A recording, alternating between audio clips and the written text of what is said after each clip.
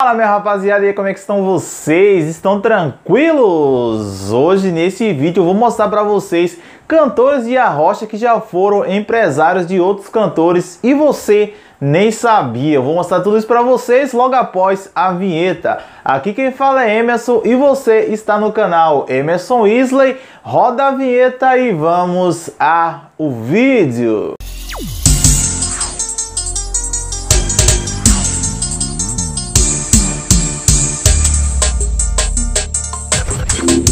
Rapaziada, antes de ir ao vídeo, eu gostaria de pedir uma coisa aqui para vocês que não são inscritos aqui no canal, que se inscreva, deixe seu like e ative o sininho de notificações, que é para você ser lembrado toda vez que eu postar vídeo novo aqui no canal. Tem gente que está assistindo os vídeos e não está se inscrevendo no canal. Gente, se inscreva, se inscreva aqui, aqui, aqui, ó, porque a inscrição é grátis. E ative também o sininho de notificações, porque é tudo grátis para você ser lembrado toda vez que eu postar vídeo novo aqui no canal. E se não for pedir muito para vocês, eu gostaria de pedir para vocês para me seguir lá no meu Instagram, que é esse que está aparecendo aqui, arroba Emerson Isley. Lá você fica por dentro dos lançamentos e também fica sabendo antes mesmo de o vídeo ser postado aqui no YouTube, beleza?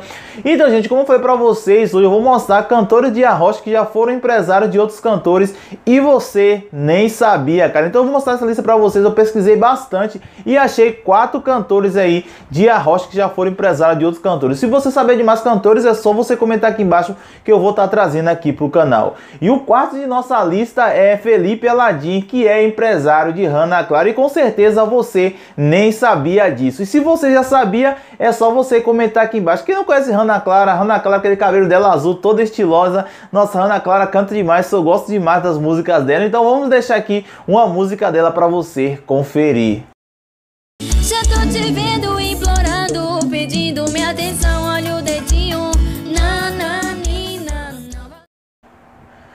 Pois é, rapaziada, como falei, em quarto lugar aí ficou o Felipe Aladim, que é empresário de Hannah Clara hoje ainda. Ele é empresário dela, então eu tô olhando aqui porque, cara, eu fiz uma ordem aqui para vocês, então tenho que estar tá observando às vezes. Então, em terceiro lugar de nossa lista ficou Naldinho. Quem não conhece Naldinho aí, que ficou bastante conhecido aí, ficou conhecido no forró, depois veio cantar a rocha. E ele ficou bastante conhecido mesmo no Arrocha quando fez a dupla Naldinho e Léo Rios. Cara, Naldinho canta demais, o timbre de voz dele é muito top e é um cara dono de uma humildade muito grande, cara. Assim, eu, eu, eu, eu sou uma pessoa que eu admiro demais o trabalho do Naldinho. Então, para vocês que não sabem, Naldinho já empresariou a banda Bailadense de Marlon Góes aí. Marlon Góes cantava na Bailadense, que era a banda de lambada, então Naldinho também era empresário dessa banda. Se vocês não conhecem a banda é, Bailadense, eu ia falar top da galáxia. Eu costumo falar de arrochadeira de Marlon Góes top da galáxia. Eu já ia falar isso, mas não. Era a banda Bailadense que Marlon Góes entrou na banda. Só que não ficou muito tempo, não, cara. Então eu vou deixar aqui uma música da Bailadense para vocês poderem conferir. Porque a banda também era muito top. Logo ali quando o Lambaçaia surgiu, começou a surgir outras bandas de lambada. E a Bailadense surgiu ali naquela época. Então era uma banda muito top que tinha Marlon Góes no vocal. Então deixa uma música dela aí, porque Naldinho era empresário dela também. Vamos lá empina, empina, empina raba, empina, empina, empina raba, empina, empina, empina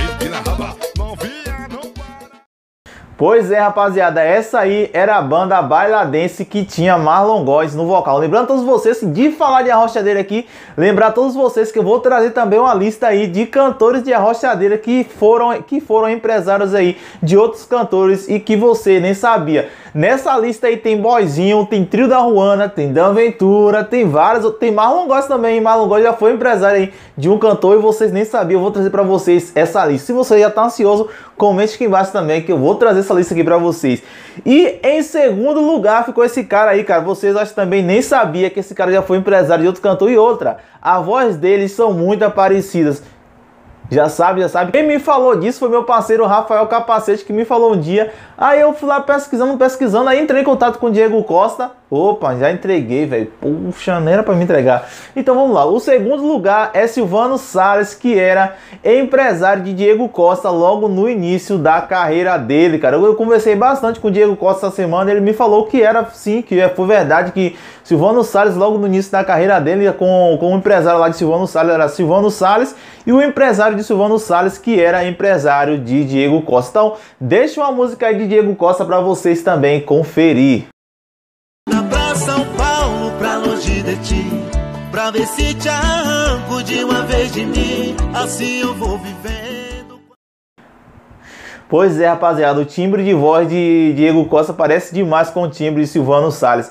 Ele não é um cara que copia, ele tem sua própria carreira, ele tenta diferenciar, mas assim, o cara já nasceu com aquele timbre de voz, para vocês verem que ele não é um cara que copia de é, Silvano Salles, que até Silvano Salles era empresário dele. Hoje, atualmente, é, Diego Costa mora lá em Feira de Santana, cara, aqui, ah, mora em Feira de Santana, na Bahia, e recentemente ele lançou até um CD, o CD dele tá muito top, e se você não viu, veja porque o CD dele tá bom demais. Qualquer coisa eu vou deixar o link aqui na descrição para você passar lá e poder conferir. E o primeiríssimo de nossa lista, você nem ia adivinhar, você nunca ia saber disso. Se você já sabia, comente aqui embaixo. Se você já sabia disso, eu digo de certeza que você é um cara que gosta de arrocha mesmo, cara. Você é um cara que acompanha.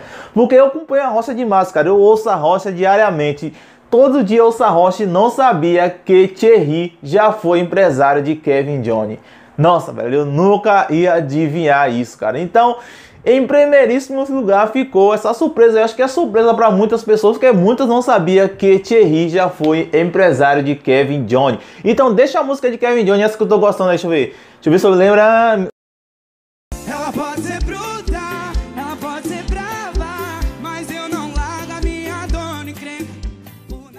Rapaziada, essa música do novo, novo DVD de Kevin Jones, novo não, porque Kevin Jones só lançou um DVD na sua carreira, que foi esse aí. E essa música tem participação de Thierry.